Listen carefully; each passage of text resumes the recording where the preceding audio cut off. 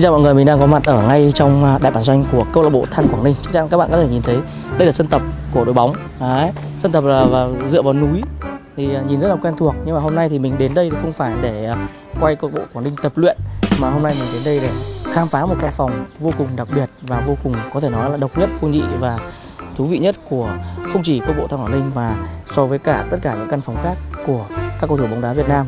À, đây là một căn phòng nằm trong khuôn viên của đại bản doanh câu bộ nhưng mà được à, à, hai cái người chủ của căn phòng này à, thiết kế lại một cách vô cùng mới mẻ và không khác gì một cái phòng gọi là hạng sang phòng khách sạn.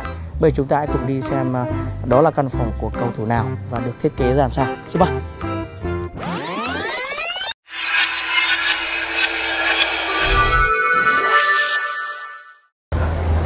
Hello. Hello anh. Hello Quân. Em vào đây Ơ em vừa gọi điện không thấy anh chắc anh ờ, chắc anh ăn cơm à? Đấy, bọn em làm rất là thực tế reality không giản dựng không sắp xếp gì cả. Thì vừa với cả đến đây phát thì là giới thiệu với cả mọi người luôn là đây là căn phòng à, mà các anh tự thiết kế đúng không? Thì mọi người có thể nhìn qua nhìn đã thấy khác biệt so với các phòng khác rồi. À, đây là quân quân ngủ quân ngủ giường này đúng không anh tú của giường này. tự thiết kế đâu có thiết kế nhưng không nhưng em thấy anh ấp mấy cái ờ, lên ờ, ý tưởng thôi, rồi bây giờ em sẽ hỏi À, anh một vài được. một vài ý một vài đường cơ bản này.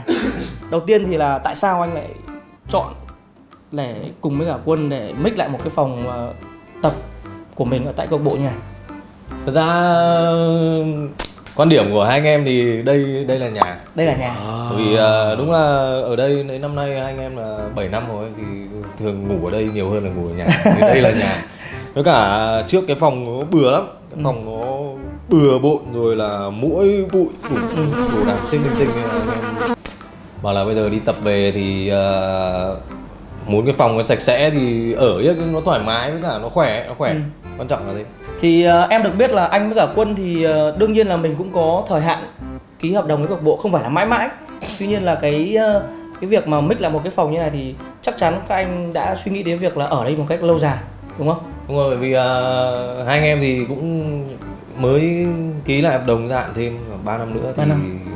thì thì ờ, anh nghĩ là là làm cái phòng hợp lý Ừ. cả sau này có không đá nữa thì cái phòng này thì các em trẻ lên thì các em ở thì à đấy ok mà một chi tiết rất thú vị tức là kể cả mình có không dùng nữa không dùng thì- nữa thì Để lại cho các em. sau anh nghĩ là cái nội thất bọn anh làm thì cũng là là cái đồ nó tốt Bây giờ là- thì đấy bây giờ thì em sẽ đi ờ, một cách chi tiết hơn một chút. Đầu tiên là về tổng thể các bạn có thể nhìn thấy tại sao các anh anh với cả quân lại chọn cái gam màu này?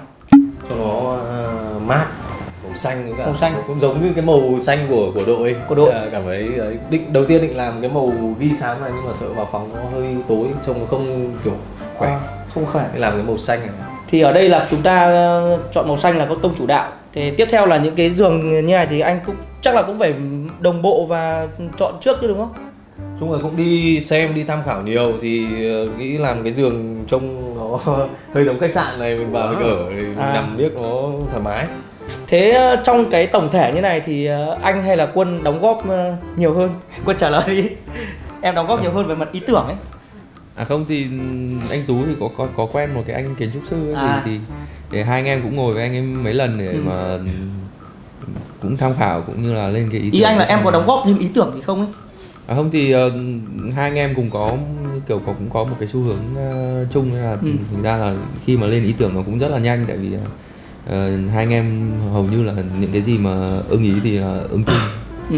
Rồi đó là mặt tổng thể. Thật ra ý tưởng thì có gì đâu mình chỉ muốn làm cái phòng nó gọn gàng nhất Gọn có gàng. thể thôi thì ờ, cái ý tưởng mà để bày vẽ ra thì nó nhiều, Nhiều. lắm nội thất mà mỗi người một gu nhưng mà cái phòng mình nghĩ nó gọn gàng nhất. Không đối với anh là gọn gàng thôi nhưng mà giờ như này đây là các bạn nhìn thấy nhá ở đây thì có ờ, có bốn góc thì đương nhiên là giường thì anh em không bàn đến rồi chỗ để ngủ rất là êm ái rồi bây giờ em thấy là hai cái bộ là bên rất là đặc biệt và khác nhau. Ở cái bên cái chỗ này không khác gì một cái phòng trưng bày gọi là vậy anh có thể giới thiệu qua cho mọi người đi. Bên này là cái cái cái này em được biết là cả hai dãy là của anh tú đúng không? Còn cái chỗ này là của quân đúng không? Nhìn nó thấy khác nhau rồi đúng không?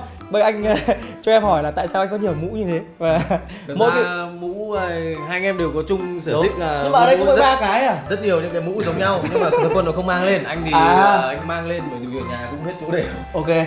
Rồi, Mũ. đầu tiên là hàng đầu tiên thì anh em không khó để nhận ra là những cái mũ mà ở đây có gần như bảy sắc cầu vồng rồi. Gần gần đầy đủ rồi. Thì bây giờ hàng thứ hai. Hàng ở dưới này toàn là Đồ. nước hoa với cả Ừ. sáp vuốt tóc. Đầy tất, tất cả trong này là sáp vuốt tóc với cả những cái sản phẩm chăm sóc nhưng mà tóc. tại sao nhiều nhiều loại khác nhau à? Hay là cứ mua bị bị cái bệnh mua cái gì là cũng kiểu mua vài cái xong có dùng thử xong vừa dùng vừa test nhưng mà Đấy. cái gì ưng nhất thì mình giữ lại. Vừa dùng vừa test nhưng mà test hết. Hiểu không? Test hết. sở thích là sưu tầm ờ, nước đây hoa. đây nước nước hoa là những cái này trên trong này đúng không anh? Ừ, đây là cái bên trong nhưng mà là đây là những chai chiết nhỏ rồi. Bởi Ừ. vì những cái chai kia nó to quá để đây không không để được. Cả mang những chai nhỏ này dụ mình đi thi đấu ấy mình đi du lịch các thứ thì nó rất là tiện. Kia kia là cả cái xịt ờ, tóc à hay là? Xịt tóc các thứ tất cả chỗ này toàn về tóc toàn về tóc. đấy hôm hôm trước thì anh tú mới có chia sẻ lên trên ờ, facebook là đây trông tưởng một cái tiệm uh, barber shop. Barber shop. Đấy, anh em nhìn nhá nhìn rất kỹ chỗ này nó rất là khác biệt so với cả khu vực của quân. Đấy không nhưng mà rõ ràng là khi mà có những cái giá như này thì cảm giác như mình cũng thích bày biện hơn đúng không anh? Mình thích mà bởi vì nói chung do sở thích con người thôi. Ừ, ok. Bởi nói chung là là có những cái gì trang trí chỗ này đầu tiên định để trang trí mấy cái kiểu decor nhưng mà sau nhiều đồ quá Ừ. để đồ này Ok, đấy là góc ờ, khu vực của anh Tú. Còn đây chúng ta cùng sang với cả góc đơn giản và mộc mạc của quân. Anh em có thể cho biết ở đây anh thấy có hai cái tượng thì cái này là có gì đặc biệt không? Hay là chỉ đơn giản mình cảm thấy cái này tượng này thú vị rồi mình À không, Quất thôi. lúc mà xong cái phòng thì hai anh em cũng đi kiểu ở các cái ờ, chỗ mà bán decor các thứ thì hai anh em cũng đi chọn mấy À. cái đồ ừ. Thực ra thì cái tượng này thì chắc chắn nó sẽ không vừa vào bên kia rồi thì thì Nó phải để bên này tại vì anh À, tú anh nhiều đồ quá nữa ý sẽ không vừa bên kia thì mình để bên này thực ra nó cũng khá là hợp mà mình cũng thấy là rất là ưng ý Quân thì có vẻ là không ờ, nhiều ờ, đồ như kiểu anh Tú mà rất đơn giản thôi. Có phải là em dùng chung không hay là sống không phải tại vì ờ, thực ra là mọi người nhìn tóc anh tú với cả tóc mình thì mọi người mới hiểu vì sao vì sao anh tú nhiều nhiều đồ đến À đấy đúng rồi. Ờ, quân thì cũng cũng không chăm chú việc tóc tai nhiều cũng chỉ Cũng có đơn giản thôi. hoặc là một chai nước hoa với cả Ngoài lỗ tai nhỉ? À, ngoài lỗ tai là phải thường xuyên các bạn cái đồ cá nhân cần thiết thôi chứ còn không có cái gì Rồi, ở bên đây có một cái rất đặc biệt là có một cái danh hiệu bằng khen à, cầu thủ đạt huy chương đồng nội dung bóng đá nam tại đại hội thể thao Đông Nam Á lần thứ 28 tức là tại SEA Games đúng không? SEA Games Đó, đó là một cái danh hiệu mà chắc chắn là quân rất thích bằng khen của tỉnh bằng khen của tỉnh. Rồi, chúng ta cùng đến với góc sau tường rất là dễ và rất là à, nhìn thấy rất là rõ. Bây giờ chúng ta cùng đến với một cái góc hai bên cạnh này thì có lẽ là cũng không phải giới thiệu nhiều. Nhưng hôm trước em nhớ có anh Tú có nói về cái việc là ờ, cái tủ quần áo của anh hết chỗ để hình như cả là cái tủ này. Đúng không? Để chúng ta cùng ti- tìm hiểu một chút ở cái tủ này. Thì cái tủ này cái tủ mà rõ rõ ràng là rất to anh em nhé. Ờ, đầu tiên cũng tính là làm cái tủ to ra Ừ. trên này để vali rồi vali cũng hết chỗ rồi. À, thế tại sao? Ờ đúng rồi, vali hết to chỗ. Ừ. tủ này đầu tiên nghĩ là sẽ không để vừa bây giờ thì cũng không còn Anh có thể cho bọn em xem cái tủ quần áo của anh được không? Mà anh bảo hết chỗ. Rồi, bên này trước các bạn nhé. Đây anh em đứng ra đây thì nó sẽ nhìn thấy cơ. Thì bây giờ anh có thể giới thiệu là tại sao lại hết chỗ được bởi vì anh thấy quá nhiều quần áo rồi. nhiều mà là áo phông. Ý em là ý em là ý em là đủ dùng rồi mà lại mà lại là hết chỗ. Thế anh có ý định là mua thêm đúng không? không anh nghĩ là chắc anh dừng rồi giờ Dừng. không mua bởi vì Anh có chắc không? bởi vì ờ, có nhiều những cái ờ, áo những cái đồ mình mua mình mặc có một hai lần nhiều quá ở nhà cũng không còn chỗ để nữa Ừ. thì phải vác lên đội Anh anh có thể lấy ra một cái cái tiêu biểu ví dụ như là mùa đông thì dài tay hay là khác đúng không? Đấy các bạn nhìn thấy ở đấy có lẽ là các bạn nhìn thấy không khó để nhận ra là anh Tú mang rất là nhiều. màu cam là màu thích Anh thích nhất, anh thích nhất màu rất cam. nhiều những cái Màu cam. Bây giờ mới biết anh thích nhất màu cam. Đấy là áo dài tay còn áo ngắn tay thì sao? Anh có quá nhiều áo ngắn tay. nhiều ngón tay cũng, Cũng cao màu ấy. cam nữa luôn. Đấy. à, cũng đang mặc một cái màu cam luôn Đấy. Anh em nhìn thấy chưa ạ? Bên uh, tủ bên này là đầy đủ những cái áo ngắn tay, áo khoác, bên trên thì là giày đúng không anh? ở đây là không bên trên là Hộp. mấy hộp không Đấy. thế này là quần Dưới này là quần, thì quần thì có thể gấp được vì nó đỡ sợ nhăn. à, 50 cái 50 cái quần anh em ạ. phải tầm đấy đấy 50 cái quần tức là em hoàn toàn có thể mặc trong vòng 2 tháng mà không cần thay đổi, đúng không? Gần 2 tháng. Rồi, đây là ngăn bên này thì anh em nhìn rõ rồi nhá. Tiếp tục ngăn bên này nào. Cái này cũng thế thôi Đây như kiểu fashionista ấy, không phải cái này cũng thế thôi không khác gì cả Đấy. Làm cái này ờ, xen kẽ thêm cả đồ ờ, Quần áo, đồ cầu thủ. men với đồ cầu thủ với cả những cái đồ mặc bình thường Đấy, anh em nhìn thấy không? Ờ, Những cái mũ len nhưng mà được trang trí rất là cầu kỳ. Đấy. Ờ, Quân anh hỏi tí là em ờ, sống chung với một người rất là nhiều đồ, đồ, đồ đạc rồi các thứ như này thì thì thì em thấy sao? em quen rồi Quen rồi đúng không? Thích nghi và enjoy đúng không? mỗi lần mà lên đội thì ông vác hai cái vali là em quen. Đấy thì các bạn nhìn thấy không? Ngoài những quần áo chúng ta có ở đây phụ kiện này hoặc riêng cả khăn này thì chắc là ít cầu thủ người ta sẽ mang theo khi mà đi đá bóng đúng không ạ? Đây là những cái uh, túi nhỏ rồi là những cái uh, ba lô đấy mũ. Mũ không đầy đủ đâu phải cho đây một cái. Đấy anh em nhìn này vợ anh nhìn tủ quần áo của anh chửi chết không gì đây là góc gọi là bóc bẽ sự thật. Rồi à, tủ của tủ của anh tú thì như thế. Bây giờ tủ của quân thì sao? Có có gì đặc biệt không? Chưa dọn à? Không bây giờ mình thực tế thôi thì mình cứ xem qua thì là có cái gì đặc sắc. Thủ em thì để cho mọi người thấy cái sự khác biệt của hai người cùng phòng. Đây. Thủ em thì các bạn nhìn thấy không? Thưa thớt không ạ? Đây chỉ đơn giản là chỉ đơn giản là bây giờ cái móc này vẫn còn rất là nhiều. Đấy tức là nó rất là thưa thớt và đủ dùng đúng không em? Đúng có áo mùa đông có áo mùa hè đúng không quần áo là chúng nói chung là cũng vừa đủ. Cũng không mình cảm thấy đây đúng là một cái cái cái cái cái hình mà có, có, hình mẫu con trai quen thuộc như của mình cũng ở nhà cũng thế. Có áo có quần có đầy đủ. Bên này thì chắc cũng thế đúng không? Hay là quần áo? quần áo tập với thi đấu.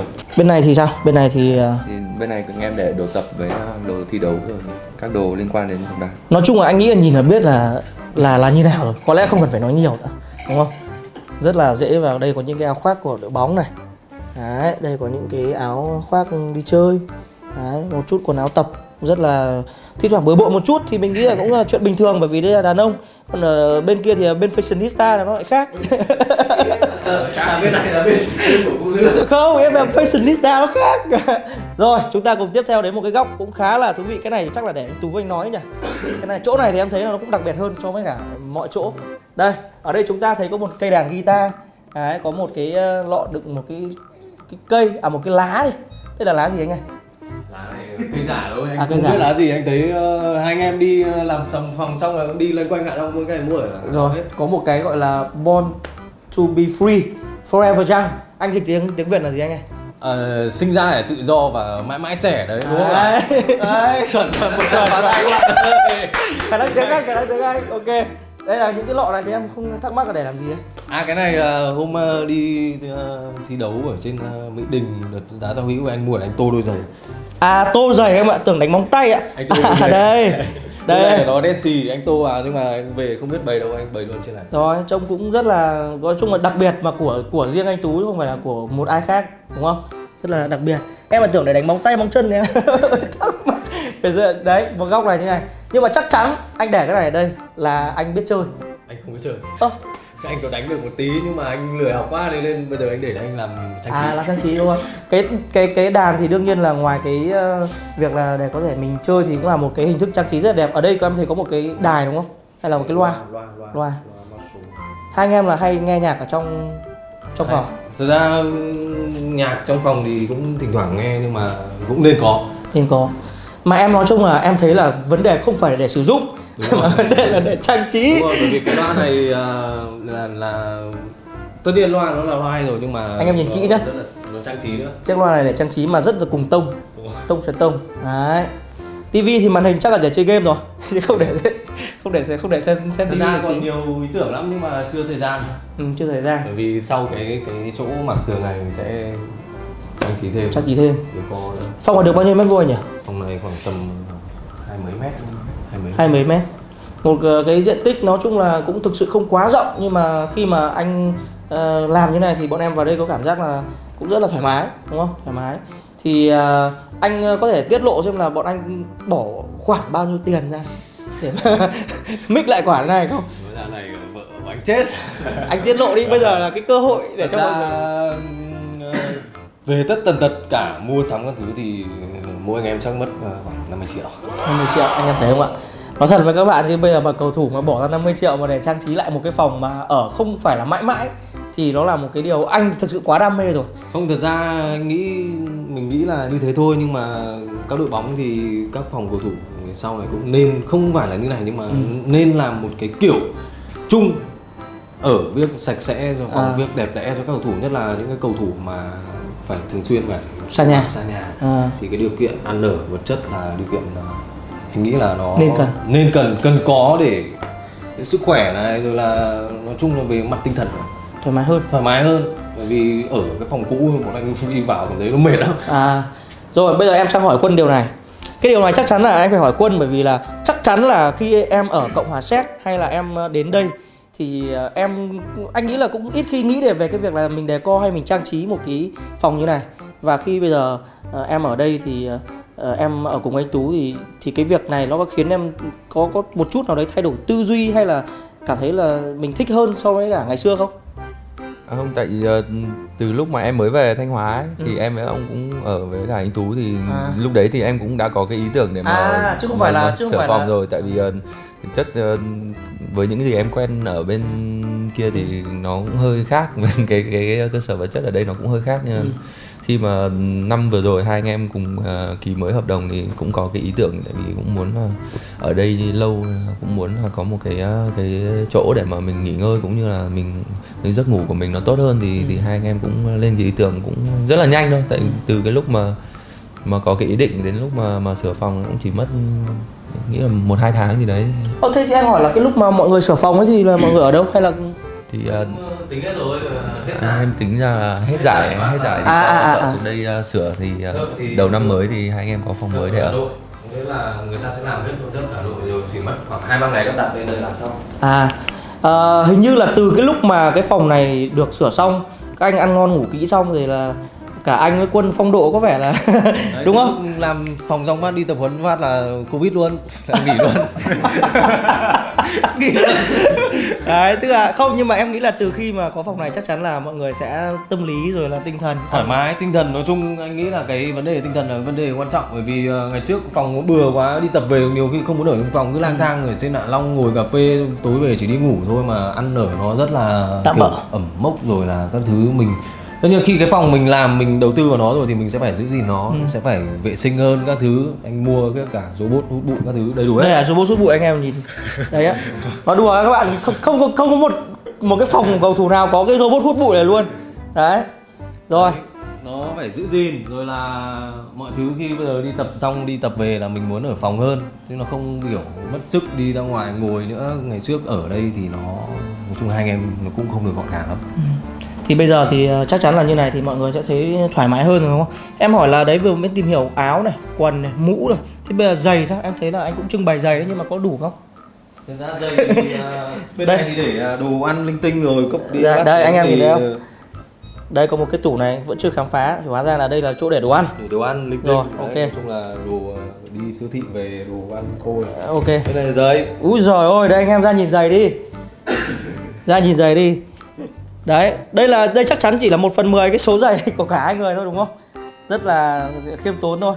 Xem nào em đếm thử nhá. 1, 2, 3, 4, 5 1, 2, 3, 4 này. 1, 2, 3, 4, 5 4, 5, 4, 20 20 đôi giày. Bây giờ giày thì chắc khoảng khoảng một phần năm. 1 phần 5 Đấy anh em thấy không? 20 đôi giày 1 phần 5 thì nói chung là nói thế là các bạn đủ hiểu thôi mà. Là như thế nào rồi? Mà chắc chắn là đây là đây là anh còn phải muốn mang muốn mang thêm nữa đúng không? Không mang thêm bây giờ không biết để đâu rồi ngày xưa cái chỗ tủ này là sẽ để giá phơi quần áo giày mà để mười xê chít. Bây giờ thật ra cũng không đi đến đâu bởi vì ở đây đi đâu đâu thỉnh thoảng lôi ra một hai đôi đi thôi chứ còn đâu còn cất ở nhà hết. Rồi ok các bạn nhìn thấy không ạ? Rất là nhiều quần áo giày dép mà vẫn cảm thấy là chưa đủ. Có lẽ là ờ, sau này mà có điều kiện nào đấy thì anh ờ, tổ chức một đội bóng thì anh cần phải xây cái phòng to hơn cho các cầu thủ đúng không? anh mà có Chủ tịch gọi là chủ tịch đỉnh kinh như thế thì anh xây phòng nào đội bóng cũng như này hết. À không phải hơn như này. Không như này thôi phòng này phòng này mới đẹp nhì Bởi vì như này là không đủ rồi. Các bạn nghĩ là đẹp nhì với lịch vì nữa sao xong phòng nhất thì phòng nhất? Phòng nhất là phòng chủ tịch ở trên kia. Không phải là phòng này nữa. Rồi các bạn thấy không ạ? Đây là phòng nhì thôi còn phòng nhất thì chỗ khác. Đây đấy chúng ta còn có đầu đá pet. Anh em ở đây thư giãn như này thì Nói thật là cảm giác thật sự là em ở đây em cũng cảm thấy muốn muốn muốn muốn về mỗi khi mà tập xong mỗi khi thi đấu. Đúng không ạ còn điều gì anh muốn tiết lộ trong cái căn phòng này không? Khi mà bọn em mới chỉ nhìn những thứ bề nổi thôi. Thứ bề chìm thì sao? Chìm thì làm gì có gì trong phòng. Không đúng không? Ở đây thì điện nước đầy đủ wifi các thứ là đầy đủ đúng không? Mỗi cái vệ sinh thì chưa cải tạo được thôi. Chưa cải tạo được. Thôi phòng vệ sinh em xin phép là bao giờ anh cải tạo thì em tham quan. Rồi đúng không ạ? Chúng ta cùng vừa đến với một cái ờ, khám phá rất là gọi là ừ, đặc biệt của trong phòng V-League chắc chắn là điều mà cả anh Tú lẫn Quân mong muốn chỉ là đơn giản là để thi đấu cho tốt thôi đúng không Thật ra đúng rồi, điều mình mong muốn là có điều kiện ăn ở sinh hoạt tốt Ăn ở sinh hoạt tốt thì sẽ dẫn đến cái việc mình sẽ thi đấu tốt. Và sâu xa nữa thì cũng mong là tất cả các đội sau này nếu mà đúng mô hình chuyên nghiệp bóng đá chuyên nghiệp là phòng ốc cầu thủ phải phải phải như thế ok. thì nó mới chuẩn được. Rồi chúng ta cùng kết thúc cái buổi tham quan ở đây. Hy vọng là anh với cả quân sẽ có một cái quãng nghỉ tuyệt vời trong căn phòng này và thì là tốt. Em cảm ơn anh. Cảm ơn quân ok hẹn gặp lại các bạn trong những ờ, video tiếp theo bye bye yeah.